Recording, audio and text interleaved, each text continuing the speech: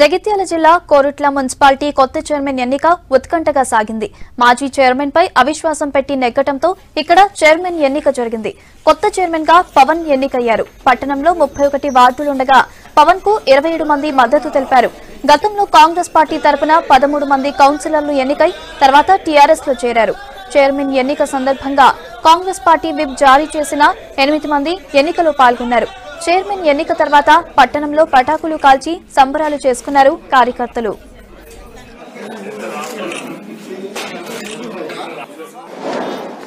కుట్ల మున్సిపాలిటీలో ఒక నూతన పవన్ గారిని వేయడం జరిగింది. రాబో నాలుగైదు నెలల కాలం నాలుగైదు నాలుగైదు నెలల లోపల ఎక్కడ కూడా అవినీతి లేనిది న్యాయమైన పనులు చేయడం కోసం ఇలా పవన్ గారిని మా కౌన్సిలర్లు అందరూ కూడా ఏకగ్రీవంగా ఎన్నుకున్నందుకు కౌన్సిల్ కూడా కృతజ్ఞత తెలియజేస్తున్నాం. రాబో కాలంలో అభివృద్ధి కోసం కోట్ల పట్టణ అభివృద్ధి కోసం అందరూ సాయశక్తులు కష్టపడి పవన్ గారిని కూడా కోరినాం. వీళ్ళందరి కౌన్సిలర్లకు కూడా ఎప్పటికప్పుడు వాళ్ళ అభిప్రాయాలు తీసుకొని వాళ్ళ వార్డు సమస్యలు తెచ్చుకొని ఎజెండా తయారు చేయాలని చెప్పి.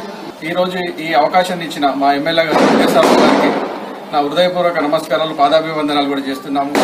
నా వార్డు ప్రజలకు కానీ ప్రతి ఒక్క కౌన్సిలర్ తోటి సత్సంబంధాలు కానీ మంచిగా ఉంటే ఎవరైనా డెవలప్ అవుతారని చెప్పేసి ఈ సభాపూర్వకంగా తెలియజేసుకుంటూ ఏ సమస్య వచ్చినా కూడా ఈ టౌన్ కానీ మొత్తం మందికి నా కౌన్సిలర్ తోటి కౌన్సిలర్స్ ముఖ్యంగా మా మహిళా కౌన్సిలర్ ప్రత్యేక ధన్యవాదాలు తెలుపుకుంటూ అందరూ ఆప్యాయతంగా ప్రతి ఒక్కరిని మంచిగా చేసుకుంటూ ముందు ముందు గవర్నమెంట్ పనులు మా ఎమ్మెల్యే ద్వారా కానీ మా కవితక్క ద్వారా కానీ మా పార్టీ అధ్యక్షుడు అన్నమల్లి గారి ద్వారా కానీ ముందుకు తీసుకెళ్తాను.